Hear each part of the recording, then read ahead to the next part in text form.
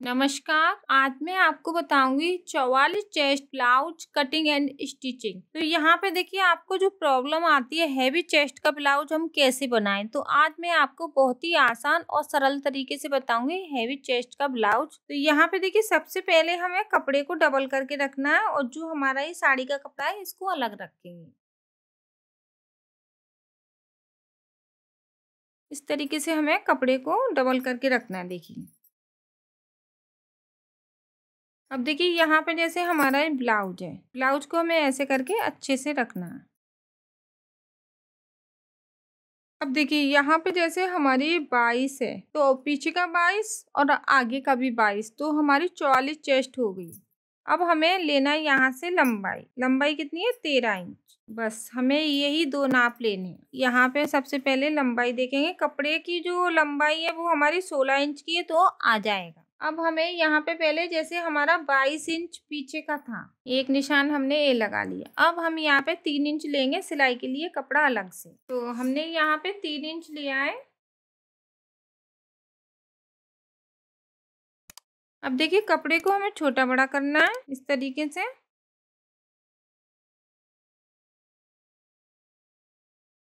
आगे का पल्लर हमारा डेढ़ इंच बड़ा होना चाहिए, पीछे का हमारा साढ़े चौदह इंच की लंबाई है। अब हम इसको ऐसे रखेंगे।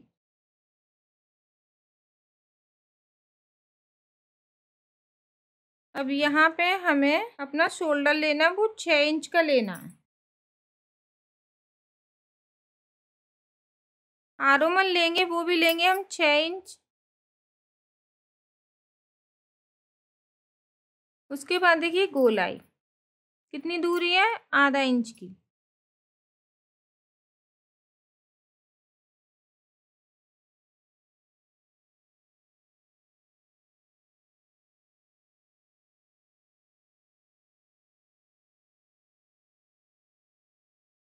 अब देखिए, हमें पीछे का पल्लर जो हमारा छोटा पार्ट है, जो हमारा लंबाई में छोटा है ना, वो हम अलग रखेंगे।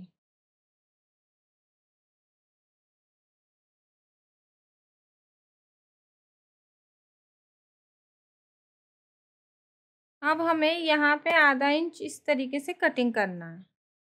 गले की चौड़ाई हम यहाँ पे रखेंगे ढाई इंच, क्योंकि हैवी ब्लाउज है। गले की लंबाई हम यहाँ पे रखेंगे साढ़े छः इंच।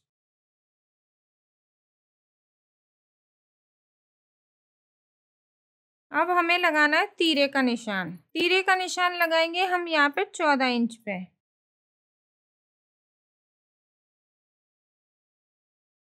एक इंच लेंगे हम यहाँ पे ऊपर की साइड। अब हमें टक्स का निशान लगाना है। टक्स का निशान हम यहाँ पे लगाएँगे दस इंच पे।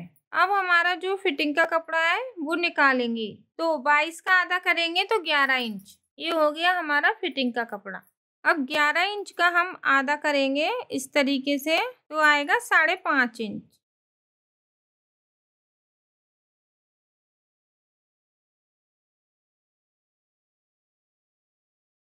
दो इंच हमें इस तरीके से दूर रखना है।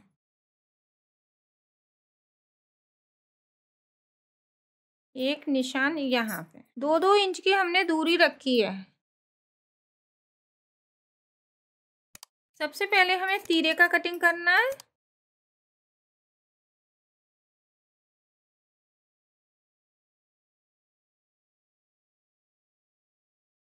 यहाँ पे आधा इंच ज़रूर कटिंग करें कि झोल ना आए। उसके बाद यहाँ पे कैंची का कट लगा लेंगे।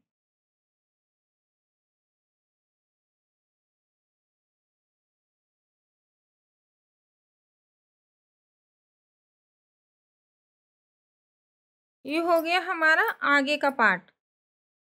अब हमें बाजू निकालनी है। यहाँ पे हमारी जो लंबाई है बाजू की वो है पाँच इंच। तो यहाँ पे कपड़ा हमारा लंबाई में बारह इंच है और इस तरीके से इसका जो अर्ज़ है, यानी कि इसकी जो चौड़ाई है वो सोलह इंच की है। तो हम क्या करेंगे, इसको करना है हमें ऐसे करके डबल।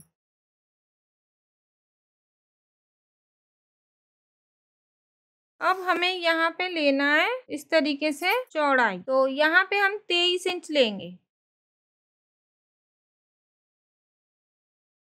इसको ऐसे रखेंगे।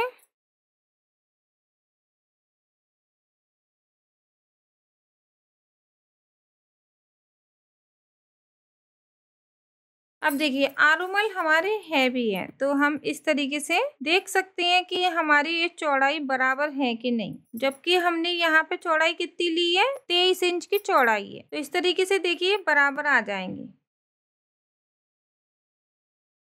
अब हमें कटिंग का निशान लगाना है यहाँ पे। तो यहाँ पे हम लेंगे दो इंच और इसको हमें ऊपर की साइड इस तरीके से लेके जाना। है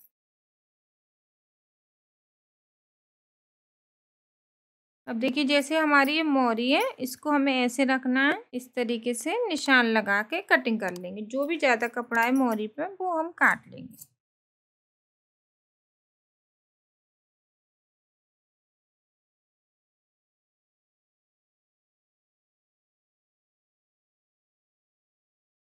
तो ये हमारी दोनों बाजू कट गई। सबसे पहले हम नेट को डबल करके, जो हमारा साड़ी का कपड़ा है, इसको हमें डबल करके रखना है।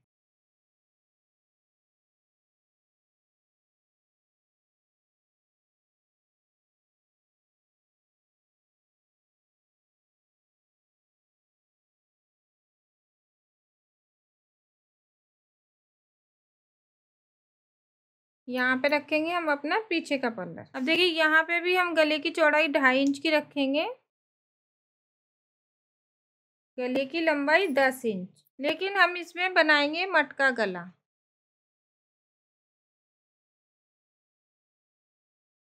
पीछे की प्लेट का निशान हम इस तरीके से निकालेंगे। यहाँ पे रखेंगे हम आगे का। यहाँ पे नीचे की साइड हम तुरपाई करेंगे तो एक इंच हम इसको बड़ा रखेंगे।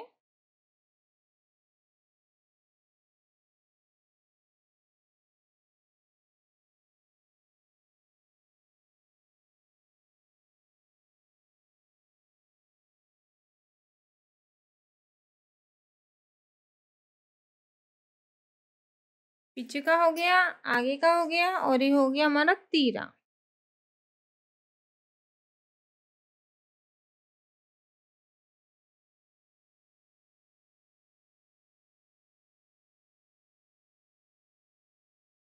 बाजू के लिए हमें डबल करना है।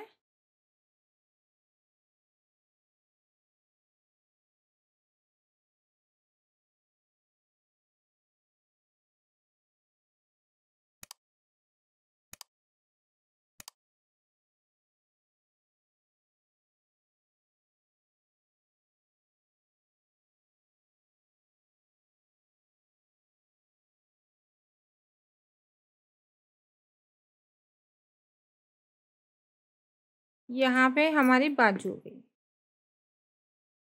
अब यहाँ पे ये कपड़ा बचा हुआ है, इसमें से हमें गले की पट्टियाँ निकालनी है। कपड़े को करना है हमें इस तरीके से तिरछा